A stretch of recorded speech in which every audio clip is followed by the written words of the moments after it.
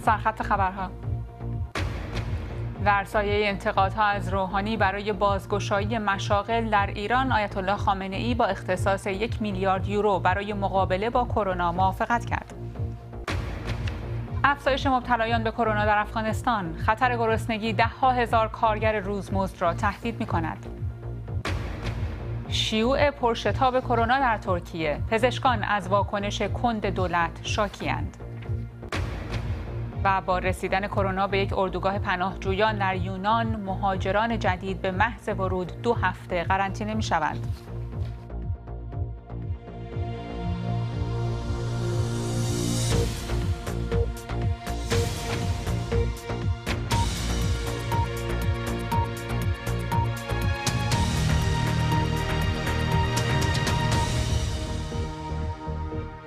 سلام عصرتون بخیر در ایران تصمیم دولت برای از سرگیری فعالیت‌های تولیدی، تجاری و خدماتی با انتقاد بعضی از سیاستمداران و پزشکان مواجه شده. رئیس قوه قضاییه گفته حفظ جان مردم باید بر گشایش کسب و کارها اولویت داشته باشد. معاون آموزشی بیمارستان مسیح دانشوری تهران هم هشدار داده که بازگشت به شرایط عادی باعث اوجگیری دوباره شیوع کرونا و افزایش مرگ و میر خواهد شد. بر اساس آمار وزارت بهداشت در شبانه روز گذشته نزدیک به 2800 مبتلای جدید شناسایی شده و 136 نفر هم جانشان را از دست دادند. در همین حال حسن روحانی گفته رهبر ایران با درخواست برداشت یک میلیارد یورو از صندوق توسعه ملی برای مقابله با کرونا و مدیریت عوارض آن موافقت کرده. باران عباسی گزارش می‌دهد. تهران صبح امروز خیابانها شلوغ چهره پایتخت بیشباهت به شهری که در پی کنترل کرونا از راه فاصله گیری اجتماعی است. طرحی که به نظر می رسد اجرای آن بیشتر به خود مردم واگذار شده. ها دولت اما می‌گوید تا اینجا موفق بوده و حالا نوبت بازگشت تدریجی به شرایط عادی است یعنی بازگشایی بعضی از کسب و کارها از پنج روز دیگر این بازگشایی که ما داریم شروع می‌کنیم پلکانی هست و مردم باید توجه بکنن بازگشایی یک مرتبه امکان پذیر نیست. تصمیمی که فاصله گذاری هوشمند خوانده شده. تو فاصله گذاری هوشمند اون بخش از کسب و کارهای کم ریسک از جنس کسب و کارهایی که مستلزم برخی از تجمعاته مثل تالارها مثل رستوران ها مثل باشگاه های ورزشی باشگاه های بدنسازی آرشگاه های زنونه آرشگاه مردونه استخرها اینا جز مشاغل پرریز تشخیص داده. و همچنان؟ و همچنان تعطیل. بعضی مقام ها اما درباره این اقدام هشدار دادند. از جمله ابراهیم رئیسی رئیس قوه قضاییه. اقتضای تدبیر این است که در تعارض بین سلامت مردم و گشایش کسب و کارها حفظ جان مردم در اولویت قرار گیرد. و سخنانی مشابه از فاطمه سعیدی نماینده مجلس. اگرچه بیش از یک ماه است که مجلس را تعطیل کردهاند طرح سفوریتی تعطیلی یک ماهی کشور در اولین جلسه رسمی با تعداد امضای مکفی ارائه خواهد شد. بیاعتنایی به سلامت مردم در مبارزه با ویروس کرونا خطایی نابخشودنی است. مرکزی ارسال کردیم. انجام نمیشه. اما فقط سیاستمداران نیستند. بعضی از پزشکان هم از این تصمیم ابراز نگرانی کردند. از جمله پیام تبرسی معاون آموزشی بیمارستان مسیح دانشوری تهران. اگر مردم به روال عادی خود ادامه دهند و دولت هم قرنطینه را بردارد تا دو یا سه هفته آینده شاهد پیک دوم شیوع بیماری خواهیم بود و متاسفانه در پیان با افزایش مرگ و میر و همچنین کمبود دارو و تجهیزات درمانی مواجه می شویم. اصرار دولت به بازگشت به شرایط عادی در حالی است که شمار قربانیان کرونا همچنان رو به افزایش است. بر اساس آمار رسمی در 24 ساعت گذشته نزدیک به 2300 مبتلای جدید شناسایی شده و 136 نفر هم جان خود را از دست دادند. به این ترتیب آمار رسمی کل مبتلایان به 60500 نفر و جانباختگان به 3739 نفر رسیده. تعداد کل بهبود یافتگان هم بالای 24 هزار نفر اعلام شده. با این حال این ارقام به آمار دیگر کشورهای درگیر کرونا که به صورت تصاعدی بالا رفتن شباهتی ندارد. نشانه دیگر از آنچه منابع بیمارستانی و بعضی نمایندگان مجلس پیشتر گفتند اینکه شمار واقعی قربانیان احتمالاً بسیار بیشتر از آمار رسمی است. در جلسه اقتصادی امروز حسن روحانی امروز از کمک اقتصادی دولت به خانواده های کم درآمد گفت. برای اونها در چهار نوبت بسته حمایتی مد نظر قرار دادیم. از دویست هزار تومان تا 600 هزار تومان. یک رقمی مد نظر قرار دادیم به عنوان وام به اندازه یک میلیون تا دو میلیون تومان برای چهار میلیون خانواده ای که اونها هم جزو اقشار کم درآمد هستند. و همینطور وام به صاحبان کسب و کار که به دلیل شیوع کرونا ضرر کردند. بهشون اعلام میشه. این وام همونطوری که اعلام شده نرخش دوازده درصد مدت زمان بازپرداختش دو ساله. معلوم نیست این کمک چقدر برای کسانی که کسب و کارشان در سایه کرونا تعطیل شده یا کارشان را از دست دادن موثر خواهد بود. از چهره شهرها دست کم به نظر می رسد بسیاری روانه محل کارند. نشانه ای از تقلای کسب و کارها برای زنده ماندن در روزهای کرونا. شیراز تهران 18 فروردین. فول کامل هوا بسیار گرم.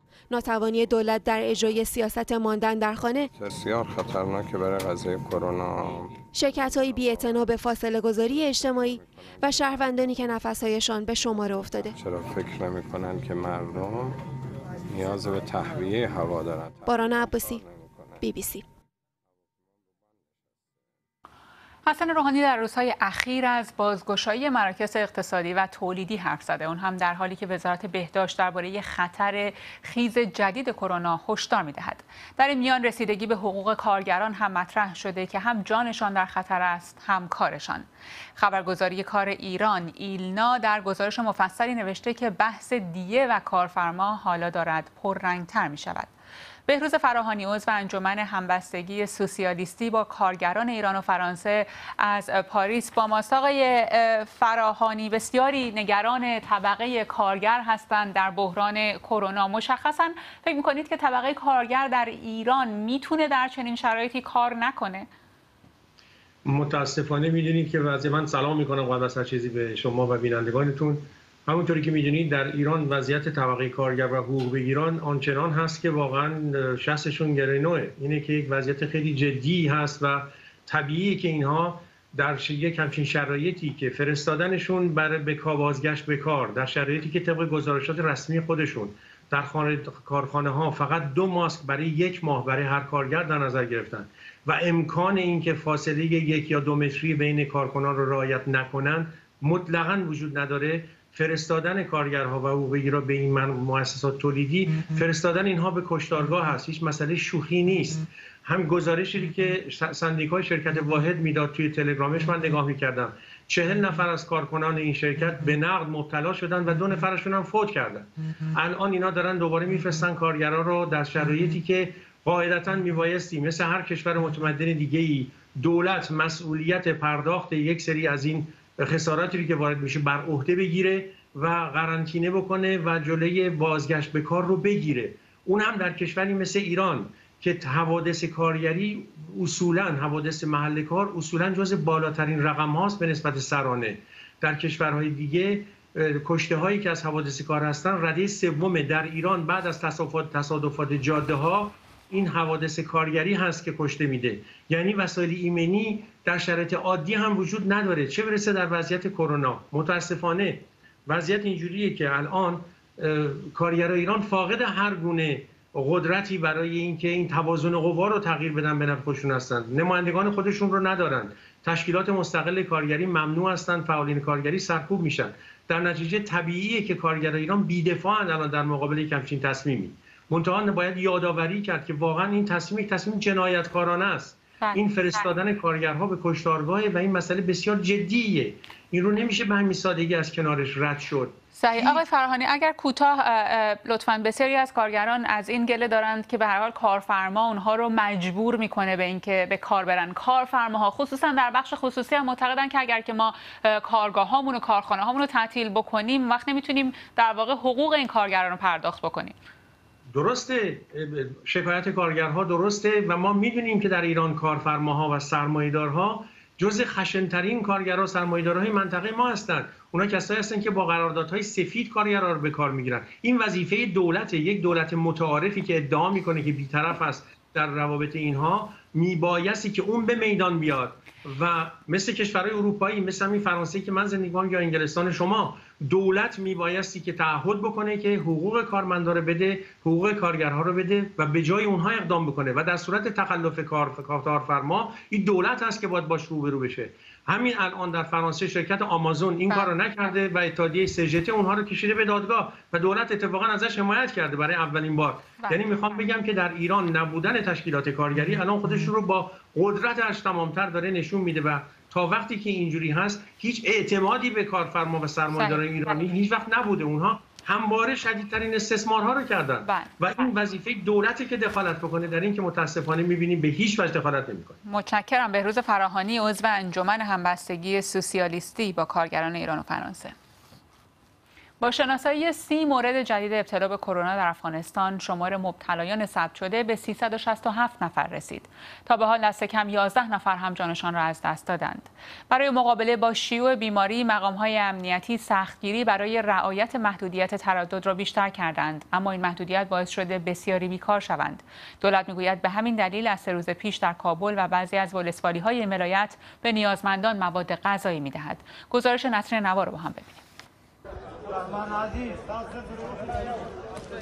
پس از سه روز ترخم گذرگاه مرزی افغانستان در شرق به روی مسافران باز شد. فقط برای سه روز.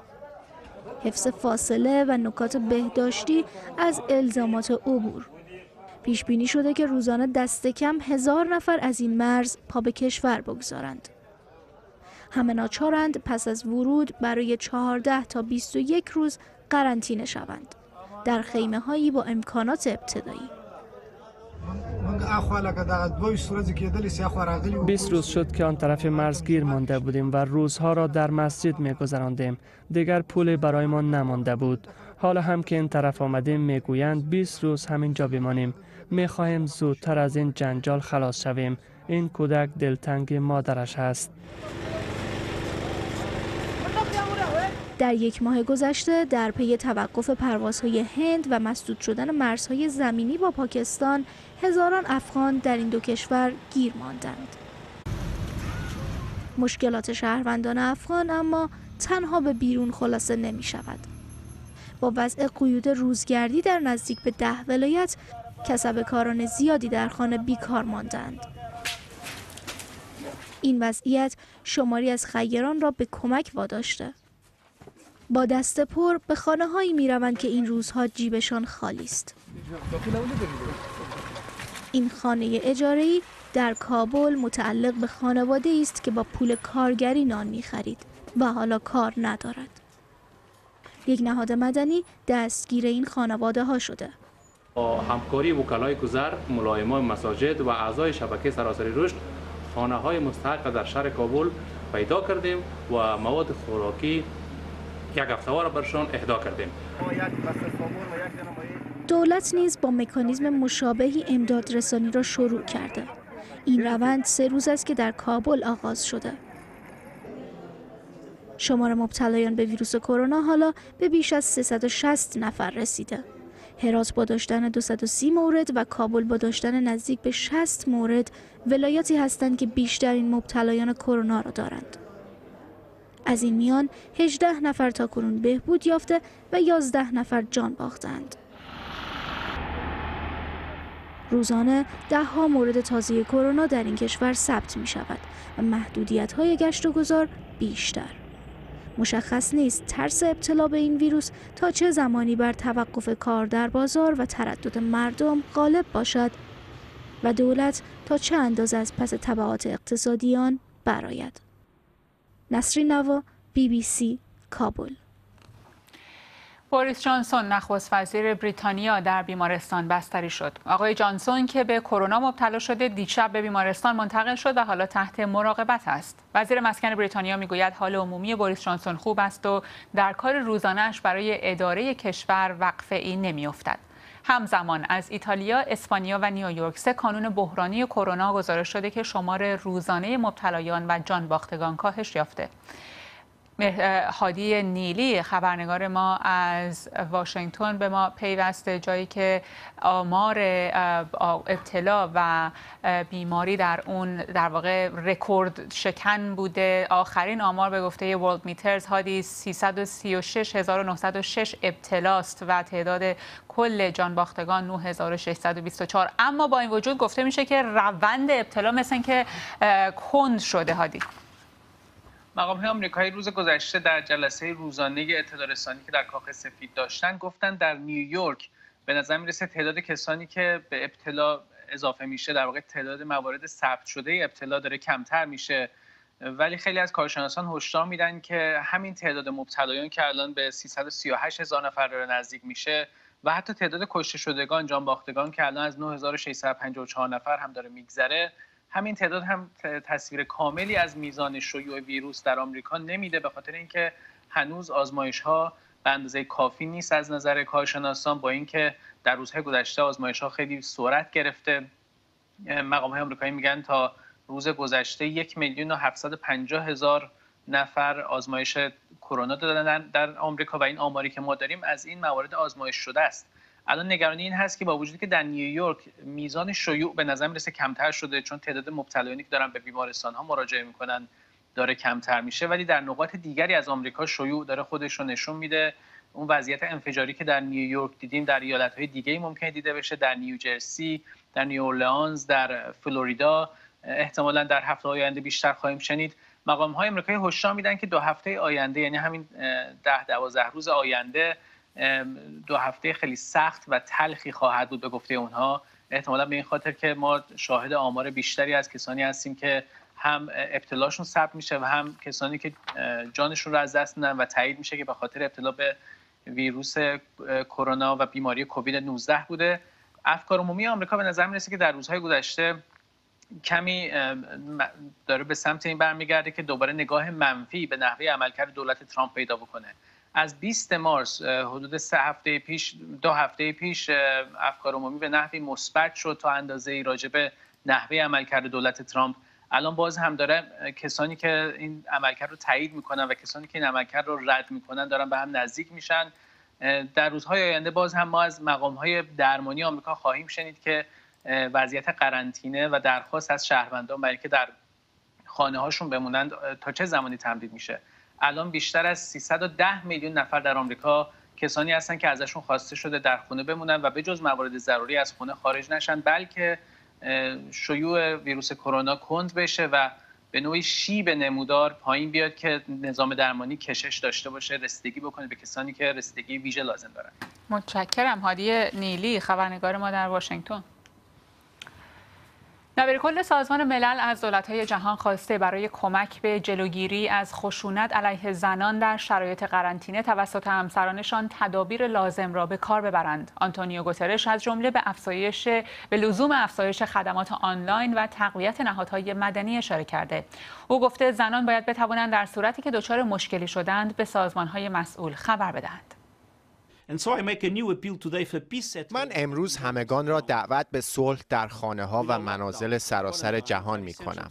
قرنطینه برای مهار ویروس کرونا ضروری است. ولی می تواند باعث گرفتار کردن زنان در خانه هایشان کنار همسرانی باشد که آنها را اذیت می کنند. حکومت افغانستان می‌گوید تصمیمش برای تغییر ساختاری وزارت مالیه به خاطر اصلاحات و جلوگیری از های سیاسی بوده و هر سه بخش این وزارت هنوز زیر نظر وزارت مالیه است. دیروز یکی از های ارشد وزارت خارجه آمریکا در توییتی از انتقال اختیارات وزارت مالیه به ارگ ریاست جمهوری ابراز نگرانی کرده بود. آمریکا همچنین خواستار تشکیل دولتی فراگیر و پاسخگو در افغانستان شده. ناصر تیموری پژوهشگر دیدبان شفافیت افغانستان از کابل با ماست. آقای تیموری چقدر نگرانی آمریکا فکر می‌کنید نگرانی به جایی باشه؟ بسم الله الرحمن الرحیم. سلام خدمت شما. این نگرانی از سوی نهادهای مدنی افغانستان و مردم افغانستان هم قبل ای که وزارت مالی افغانستان تجزیه بشه ارائه شده بود. حتی قبل از اینکه این حکم 50 روز قبل صادر بشه. این نگرانی ها با حکومت افغانستان شریک شده بود. اما ظاهرا حکومت افغانستان به این نگرانی ها توجه نکردن و حکمر بالاتر از اون چیزی که ما حتی فکر می‌کردیم هیو حکمر طوری صادر کردن که برای وزارت مالی افغانستان تقریبا هیچ مسئولیت و صلاحیت باقی نمیمانه. اجرای این حکم که پیامدهایی می‌تونه داشته باشه؟ سه پیامد عمدی که این حکم می‌تونه داشته باشه. یکی هست که پاسخگویی وزارت مالیه به شورای ملی یا پارلمان افغانستان تقریبا از بین می‌بره. وزارت مالیه من حیث وزیر باید از پارلمان افغانستان رأی اعتماد بگیره. در صورتی که اینا به ادارات مستقل تقسیم میشن نیاز به رأی اعتماد و رأی عدم اعتماد پارلمان نداره. از سوی دیگه یکی دیگه از عواقب بعدش می‌تونه ایجاد ناهماهنگی میان از ادارات باشه. وقتی که سکتور مالی و مصارف عامی افغانستان به چندین اداره تقسیم بشه و مرجع گزارشدهیشان متفاوت باشه می‌تونه این ناهماهنگی که ما تقریبا در سکتورهای دیگی افغانستان داریم این رونما بشه. موضوع بعدی تمرکز قدرت هست. بخش های عواید بخش های گمرکات مسائل بودیجه خزاین و پالیسی اقتصادی و مالی معمولا به صلاحیت وزارت مالی بوده. با تغییراتی که رونما شده اینها می‌تونه صلاحیت های ریاست جمهوری بشه.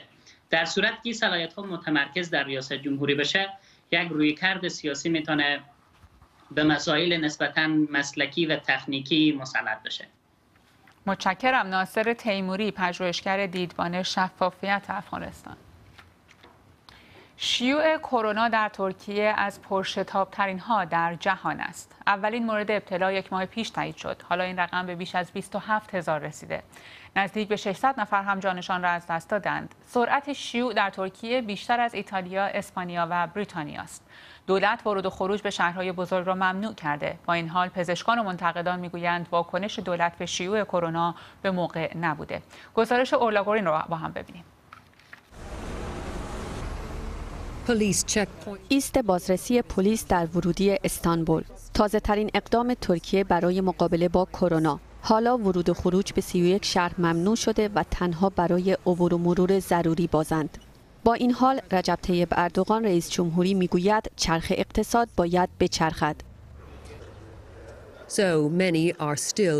خیلی ها هنوز سر کار می روند. زدن ماسک اجباری است. در خانه ماندن اما فقط برای افراد کمتر از 20 سال یا بالای 65 سال اجباری است. شهردار استانبول مخالف کلیدی دولت مسئولیت های زیادی دارد. استانبول بالاترین آمار مبتلایان را دارد. می‌گوید پیش از آن که دیر شود باید قرنطینه عمومی داشته باشیم. مسای günleri oluştuğunda روزانه حدود یک میلیون و صد هزار نفر از وسایل حمل و نقل عمومی استفاده می کنند. تعداد زیادی ماشین هم تو خیابونا هستند 15 درصد جمعیت یعنی بین دو تا دو نیم میلیون نفر برابر با جمعیت یک شهر اروپایی هنوز بیرونن olarak gözlem yaptığımız bir sonucu verdi. Do you think it's crazy? فکر می‌کنید دیوونگیه که مردم هنوز اجازه دارند برن بیرون؟ کاملا اینجا مثل هر جای دیگر ویروس جان کسانی را که برای نجات بقیه تلاش می کنند می گیرد. از جمله دیلک توتالی یکی از اقوامش این ویدیو را به ما داد. پرستار بود و تنها فرزند.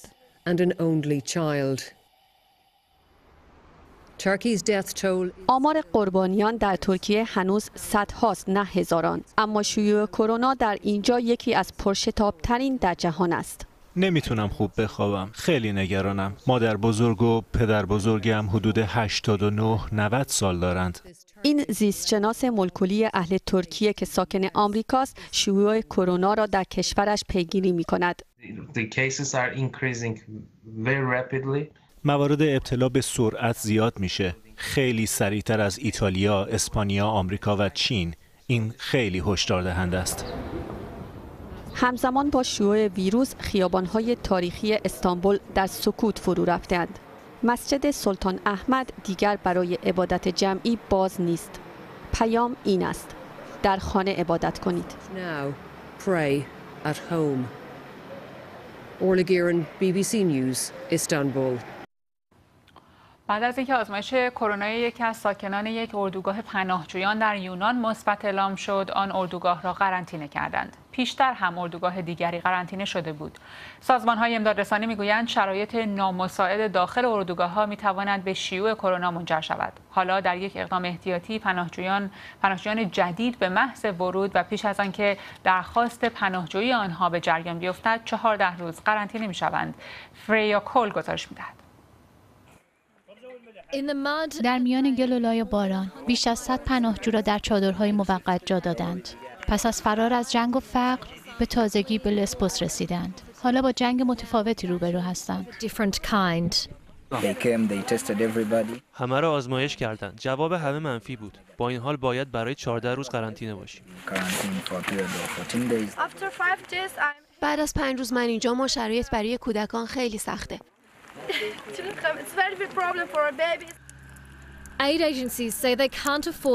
سازمان های امدادرسان می‌گویند نمی توانند ریسک کنند و افراد جدید باید به محض رسیدن و قبل از اسکان قرنطینه شوند. ویروس پیش از این به دو اردوگاه در یونان سرایت کرده. بیماران را از کمپ ها خارج و به بیمارستان های محلی منتقل کردند. سازمان های امدادرسانی اما می‌گویند که شرایط نامساعد در داخل اردوگاه ها بستر مناسبی برای گسترش ویروس کرونا فراهم می کند. وضعیت وخیمی که از آن نگرانند در آستانه بدتر شدن است. فریا کول، BBC News. اما اجازه بدید تصاویر ببینیم از باغ وحش برانکس در ایالت نیویورک آمریکا جایی که اولین پلنگ آزمایش کووید 19 مثبت تشخیص داده شده. یک پلنگ به اضافه شش پلنگ دیگه ای که اونها هم علائم کرونا رو نشون دادند. اما معذرت می‌خوام ببر. و اینها همگی گفته میشه که سرفه های خشک داشتند. این ابتلا نگرانی رو ایجاد کرده بین بسیاری از فعالان حقوق حیوانات و همچنین سوالهای بین کارشناسان که معتقد بودند که کرونا بین انسان و حیوان منتقل نمیشه. گفته میشه که یکی از کارکنان باغ وحش برانکس مبتلا به کرونا بوده و احتمالا او عامل بیمار شدن این ببر در باغ وحش برانکس بوده. ممنون که با ما بودید و مراقب همدیگه باشید.